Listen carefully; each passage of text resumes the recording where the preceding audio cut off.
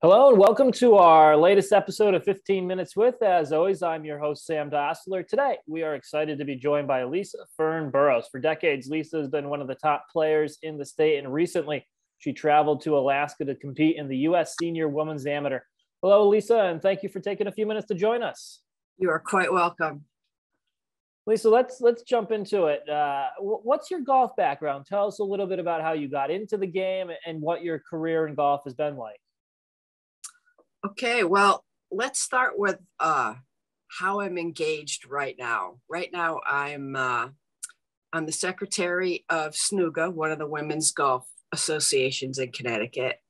Uh, I'm also the second vice president of uh, CWGA. Um, I'm also on the uh, PME scholarship committee uh, relevant to CWGA. Um, they give uh, scholarships out to uh, girl golfers uh, of any background. Um, I'm also on the Connecticut Golf Hall of Fame committee. And um, let's see, I think there's one. Of the, oh yeah, I did this past two years. I've uh, I've been uh, a volunteer with uh, the Ridgefield uh, Girls Golf High School golf team. So that's kind of how I'm involved with golf right now. There's so many ways you can do that. Um, but how I got started in golf, um, it goes back to, um, uh, I guess as a kid, I always wanted to learn, but didn't have the means to do it. I remember uh, uh, asking my mother, because I grew up in Agawam, Massachusetts, could I caddy at the local uh, club? And she's like, no, no, I don't want you, I don't want you doing that. So there was that was the first seed that was planted and then, of course, uh, more famously, um, I met my future husband, who um, you know has the the Boros connection. He was a nephew of Julius Boros, and I said, "Hey, can you teach me how to play golf?" he's like, "No, I'm not going to teach you." He says, "But I'll pay for lessons." And it's kind of it's kind of history after that. He, he would always say, um, I created a monster. Um, I've got the name, you got the game. And there's one other comment, but I don't know if that's appropriate for this media. what um what is it about the game that drew you in? What what hooked you to the game? What made you interested in in the sport? Um, well, my my first love of sport was uh, baseball and softball. I grew up watching the Red Sox, and then I wanted to play. Uh, so I started playing in a church league, I think when I was eight or 10 years old. And, um, you know, so I, I always loved sports. I always wanted to play sports. So I kind of knew that golf, you could take almost take yourself to the grave with with golf and th- some of the other sports you can only play so long but golf as we know that's not true. You know it's multi-generational. And when did you get how did how did you get into the competitive golf scene? I mean you've been playing in our events connecticut state golf association association events for years along with cwga snuga numerous usga events. Uh, how did that transition happen for you? Um I would say I cut my teeth on the club championship at the Fairchild Wheeler. Um, and uh, I don't think I won the first one I played in, but I mean, that was at the time that was a big deal for me. And then uh, at that time, they still published uh, golf scores in the newspaper.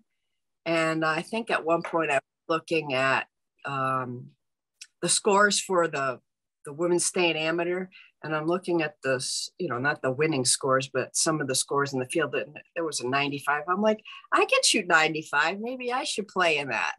So i, I guess that's kind of one of the ways that it triggered me. Um, i think my first state amateur was at richter park probably in 95 if i had to guess.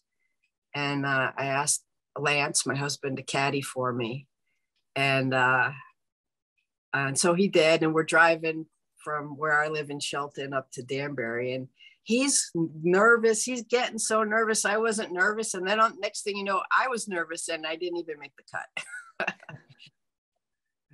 uh, let's fast forward now to to just recently. You you as we mentioned off the top, you you went to Alaska to compete in the U.S. Senior Women's Amateur, but you, you had a bit of a health scare before that. Uh, we saw you at our Connecticut Women's Amateur, um, but tell us a little bit about what happened and, and, how you were able to get back onto the course so quickly.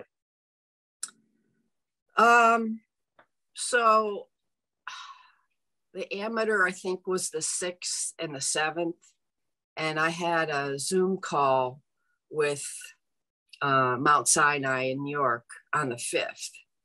So I knew I knew going into the amateur that I I had to have uh, the the surgery.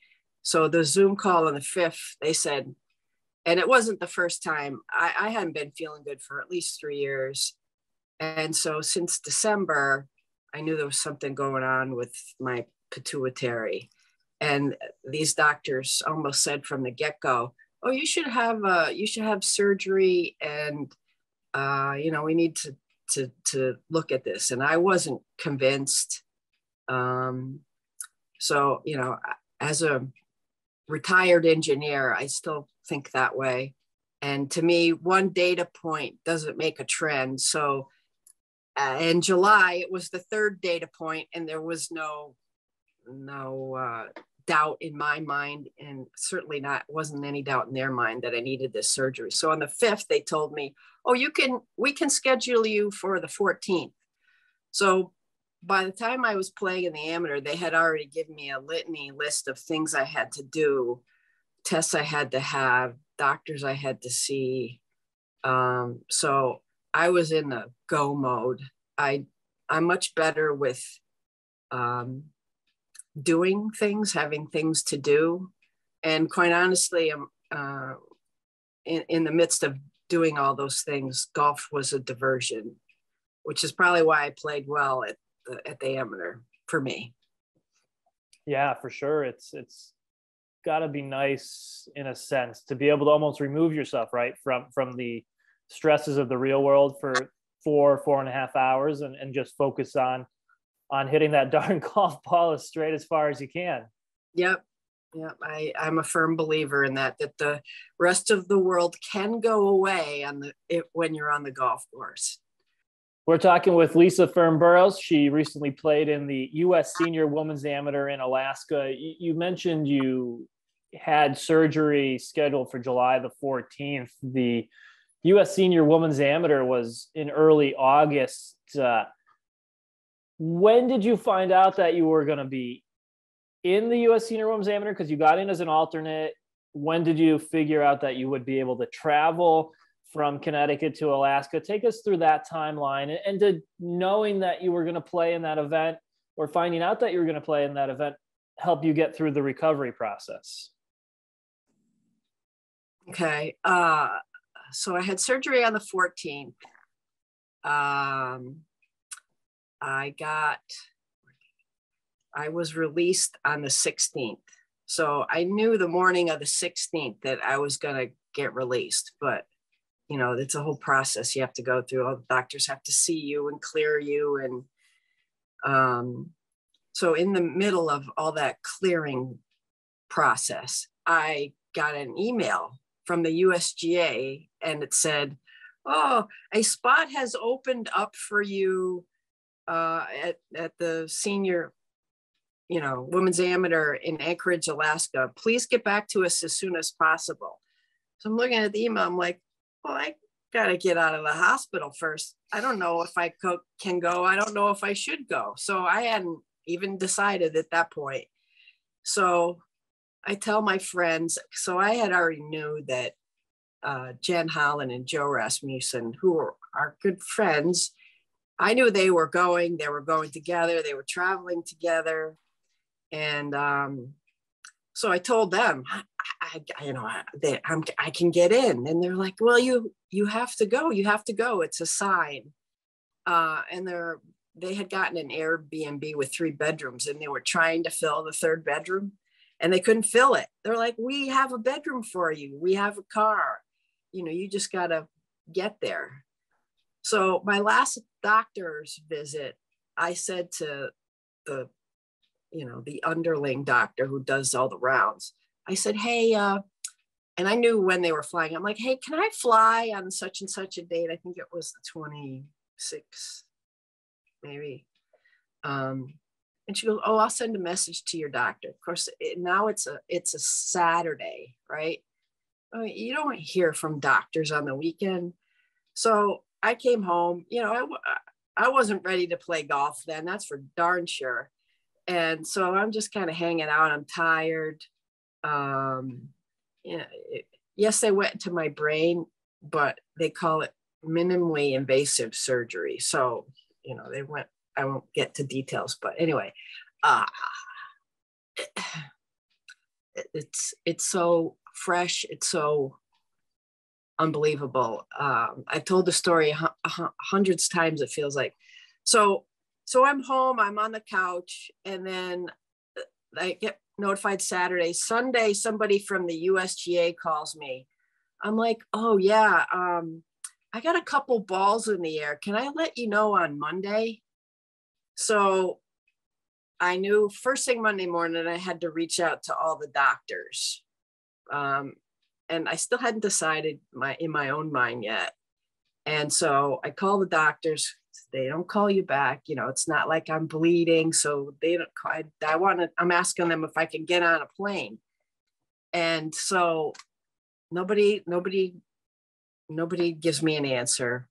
So as I say it, I put my big girl pants on and I made a flight to Alaska. So I got on the same flight with Joe and Jen, you know, and I'm like, well, worst comes to worst, I cancel the flight.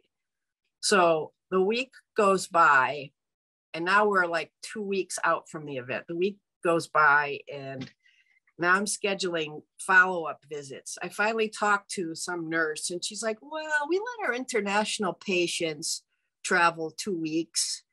And so the day I flew was basically two weeks after my surgery. Um, and uh, so I got one answer, I got a low level answer. And then I had two follow up appointments. I had to go down to New York City. Um, I had a follow up with the ENT and then a follow up with the neurosurgery team. Um, so I go see the ENT guy, and so he has to he has to go up my nose, and it wasn't what I expected at all. So he's up there, and then he is not he's halfway done, and I say, um, I want to get on a I want to get on an airplane tomorrow, and he goes, you can't fly, and and now I'm I'm like, okay, you finish what you're doing and then we'll talk. So he's done, and I'm almost ready to pass out uh, because of what he's done to me. And and he's, I'm like laying in the chair. I go, okay, what's the worst case scenario? He goes, worst case scenario is you bleed profusely through your nose, and they have to divert the plane. I'm like, okay, um, I'm not an idiot. I get it. And I thought at that point I was going to have to cancel a flight. Uh, so I, I'm like, okay, well, I'm seeing the neurosurgery team in a couple hours. Uh, I said, do you mind if I ask them? He's like, okay, you can ask them. I'm very conservative about these things, he says to me. So I take a cab, I go into going to the neurosurgery visit, and this is where the story gets um, serendipitous, I think is the appropriate word. So the, the, the physician's assistant who I'd seen over Zoom before walks into the, room and she she's huge, she's tall. This is like the tallest woman I can remember seeing in recent memory. And so she pulls me into her room and she's like, "Well, how did how did the uh, your last doctor visit go?" I'm like, "Well, I didn't like what he did, but I really didn't like what he had to say. And she goes, Well, well, I know what he did was very unpleasant. She said, But what did he have to say? And I said, Um, well, he told me I, I can't get on a plane tomorrow. I said, I want to get on a plane. And then I tell her about uh, flying to Alaska and that it's a USGA event and what it means as an amateur golfer to play in a USGA event. I explained to her, it's like going to the Olympics of golf.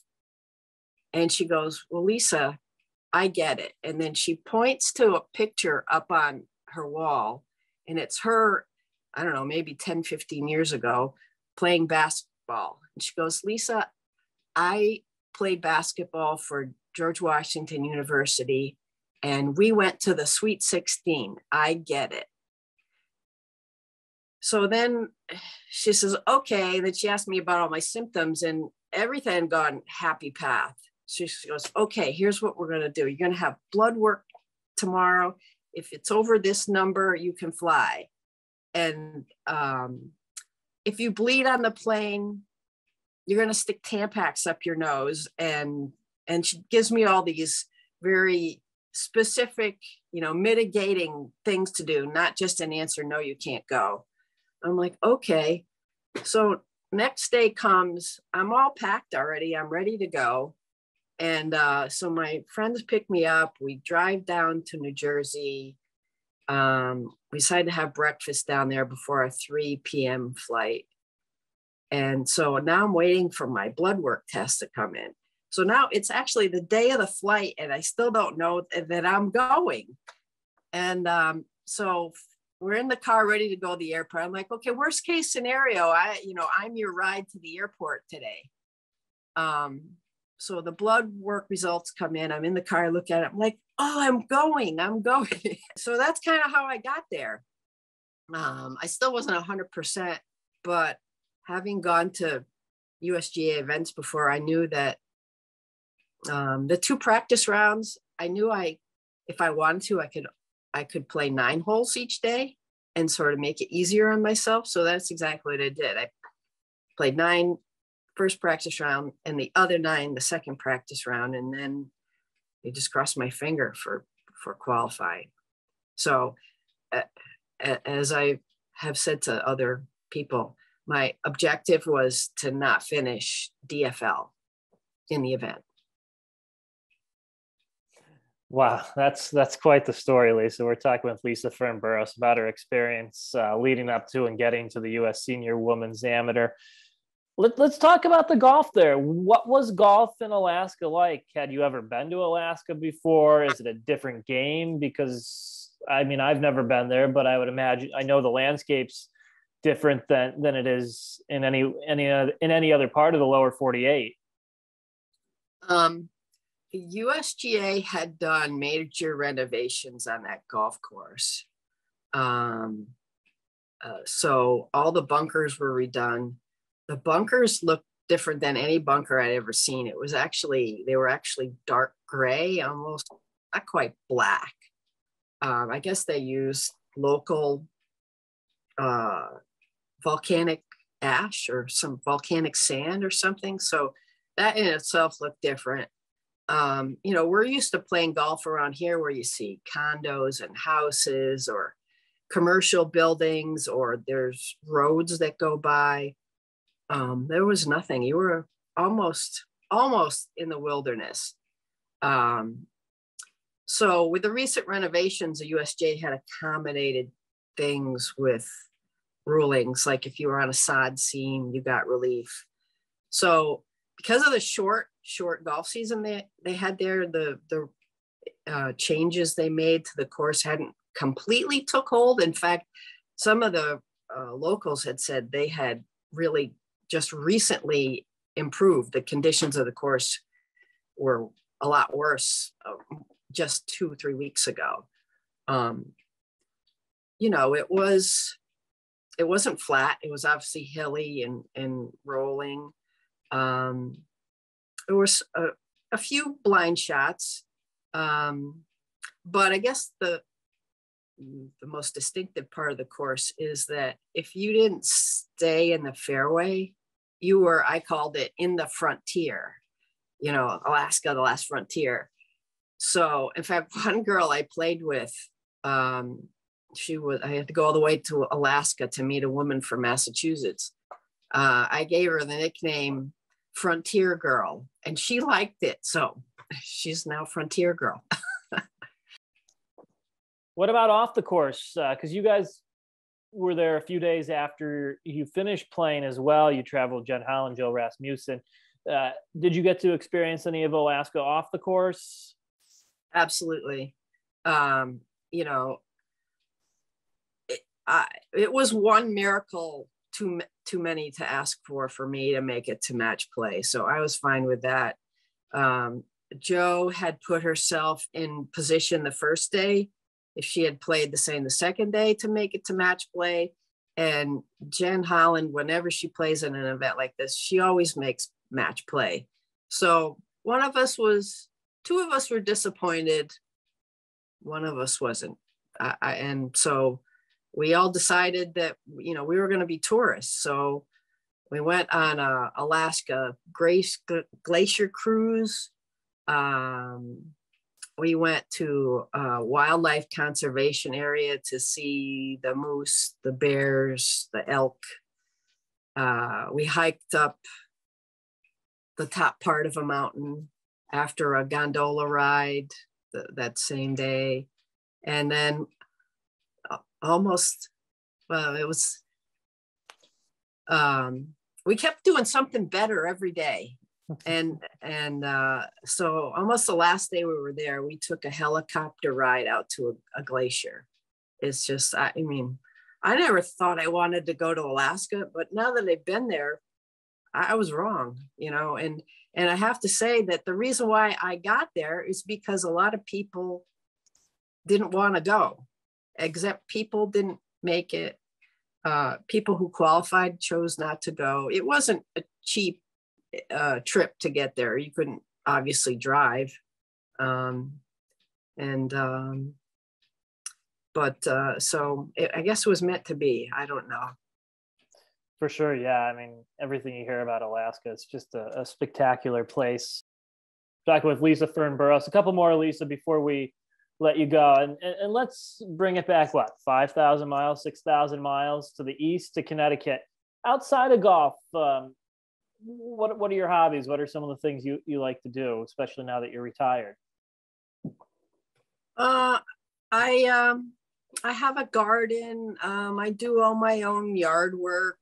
Uh, I do a little bit of woodworking, not so much, you know, I try to find things to do during the winter. Um, I'm uh, my father's daughter w- with uh, fixing things. Um, you know, everywhere I go, I kind of bring my tool case with me, and I've fixed many of things. Um, so uh, I sell things on eBay. I have a guy at my club. I call him my number one customer. He's sort of the Imelda Marcos of golf clubs, and I'm his uh, broker. so I do some of that. Uh, um, I, and I'm, you know, just I, I fill my fill my time with golf during the season. Definitely my busy time of year. So, so yeah. Where can we find your stuff on eBay? well, you have to know my username, but are, are you if you're looking for more customers, we can uh we can. Oh, that's okay. Okay. All right, and and we'll get you out on this one, Lisa. You know, you've been competing for decades. What what keeps you coming back? What keeps you coming back to the game year after year? I, I think I remember talking to a friend who has now passed, and it's right about the time when I started to get pretty good. I got, you know, I got down to a low single digit handicap. I'm like, well, how long can this last? You know, how how long can I play golf like this? And she said, well, you'll be good until you're in your 50s.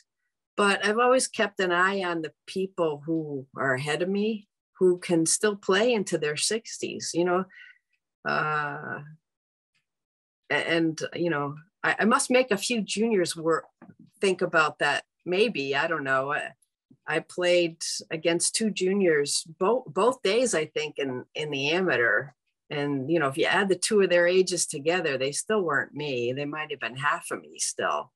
And, uh, you know, they bombed it by me, but at the end of the day, it's how many it takes you to put it in the hole. She has been Lisa Fern-Boros. She recently played in the U.S. Senior Women's Amateur in Anchorage, Alaska. Lisa, thanks so much for taking a few minutes to join us, sharing some of your stories and talking about your life in golf. Thank you. Thank you very much.